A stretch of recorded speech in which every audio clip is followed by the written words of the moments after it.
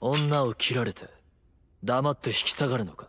俺は鞘姫のために戦って守れなかった今となっては戦う理由がない。